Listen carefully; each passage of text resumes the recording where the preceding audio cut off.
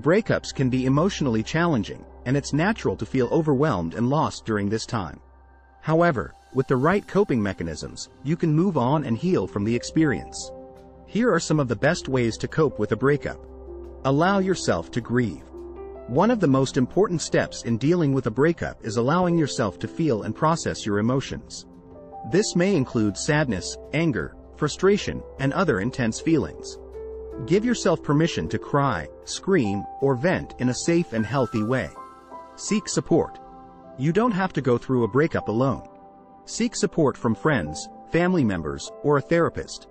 Having someone to talk to can help you process your emotions and gain new perspectives. Practice self-care.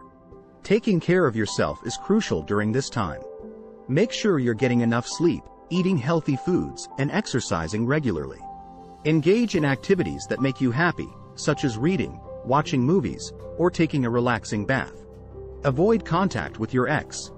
It's tempting to stay in contact with your ex after a breakup, but this can prolong your healing process. Consider taking a break from social media or any other means of communication that can trigger painful memories. Focus on the present. Try to focus on the present moment instead of dwelling on the past. Engage in activities that bring you joy and help you stay in the present moment, such as meditation, yoga, or hiking. Create new goals.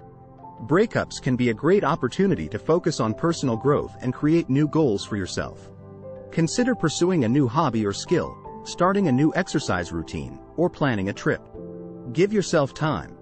Healing from a breakup takes time, and it's important to be patient with yourself. Allow yourself to experience your emotions and take the necessary steps to heal. Coping with a breakup requires self-care, support, and time. Allow yourself to grieve. Seek support. Practice self-care. Avoid contact with your ex. Focus on the present. Create new goals. And give yourself time to heal.